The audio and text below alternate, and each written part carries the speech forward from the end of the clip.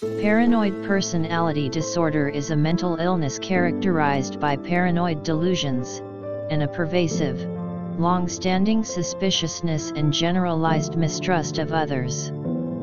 People with this personality disorder may be hypersensitive, easily insulted, and habitually relate to the world by vigilant scanning of the environment for clues or suggestions that may validate their fears or biases.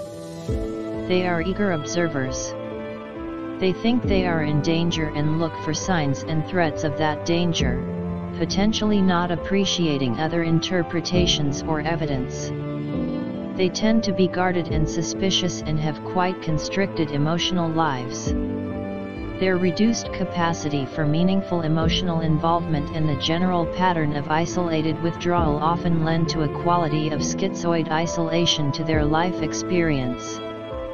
People with PPD may have a tendency to bear grudges, suspiciousness, tendency to interpret others' actions as hostile, persistent tendency to self-reference, or a tenacious sense of personal right.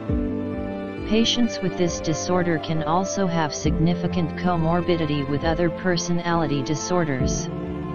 Psychosocial theories implicate projection of negative internal feelings and parental modeling.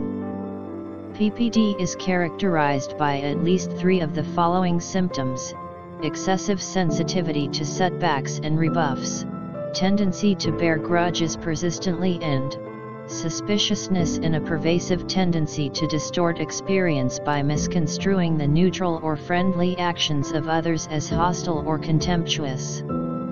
PPD is characterized by a pervasive distrust and suspiciousness of others such that their motives are interpreted as malevolent, beginning by early adulthood and present in a variety of contexts. Paranoid personality disorder can involve in response to stress, very brief psychotic episodes. The paranoid may also be at greater than average risk of experiencing major depressive disorder, agoraphobia, social anxiety disorder, obsessive compulsive disorder, or alcohol and substance-related disorders. Because of reduced levels of trust, there can be challenges in treating PPD. However, psychotherapy, antidepressants, antipsychotics and anti-anxiety medications can play a role for this disorder. Don't believe everything you think. Thoughts are just that thoughts.